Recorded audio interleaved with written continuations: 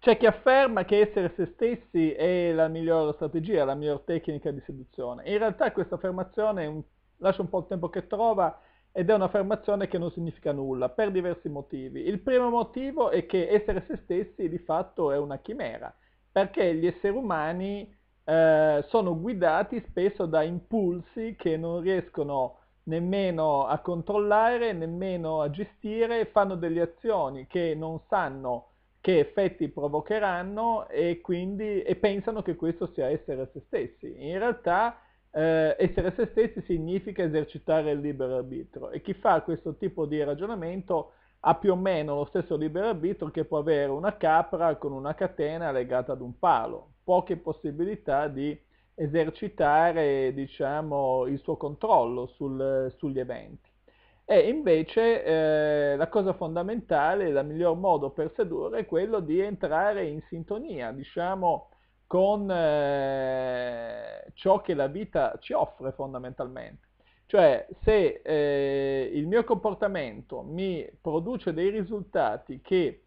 eh, sono allineati con quelli che sono le mie esigenze, allora, anche se non so perché, anche se non so cosa significa essere me stesso, in realtà eh, saperlo non è neanche importante, l'importante è ottenere i risultati voluti nella, nella seduzione. Se invece non ottengo i risultati voluti, ev- evidentemente essere spontanei eh, non, eh, non, è utile, è un qualcosa di inutile. Un po' come dire, se eh, posso eh, nutrirmi dei frutti spontanei che la natura mi offre, questo mi fa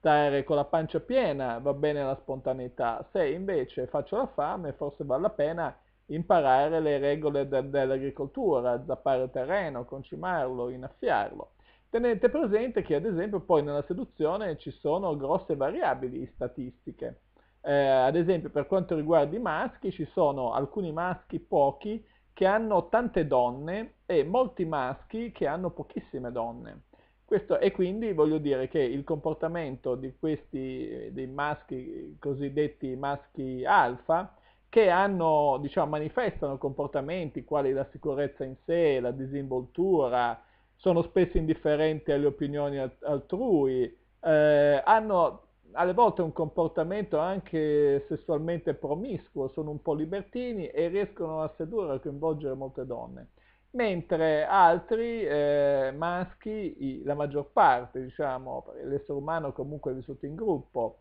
i maschi beta o i maschi dominanti eh, hanno meno possibilità, eh, hanno, accedono a, a, poche donne, insomma, e spesso appunto, e quindi la media fa più o meno, diciamo, che è una roba equilibrata, però ce ne sono pochi che hanno tanto, po' come, come dire, quello che succede da un punto di vista economico, il 10% della popolazione mondiale detiene il 90% delle ricchezze ed è così, diciamo, anche da un punto di vista della, della seduzione da parte del maschio, il, 90, il 10% dei maschi detiene il 90% delle donne, detto in altri termini, da un punto di vista sessuale intendo.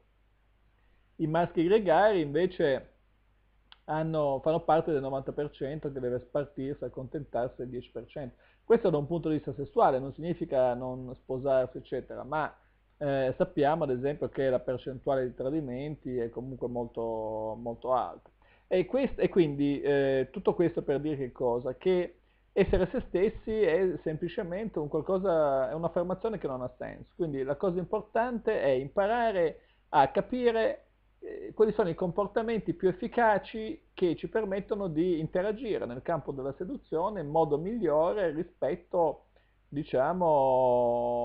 a quelle che sono le nostre esigenze, o comunque perlomeno allineate alle nostre esigenze. il modo migliore è quello di agire a livello emotivo, a livello subliminale, amplificare le tensioni, amplificare le emozioni, in modo tale che l'altra persona ci possa comunque etichettare o come maschi alfa o anche come femmine alfa, perché anche le donne istintivamente seduttrici sono le femmine alfa, però questo istinto non è un qualcosa di o che c'è o che non c'è, è un qualcosa che si può imparare. La buona notizia è che si può imparare, diciamo così, a diventare seduttori e si può imparare a diventare seduttrici. Bene, per questo video è tutto, vi do appuntamento al prossimo, seguitemi anche sul blog www.seduzionevip.com. Ciao!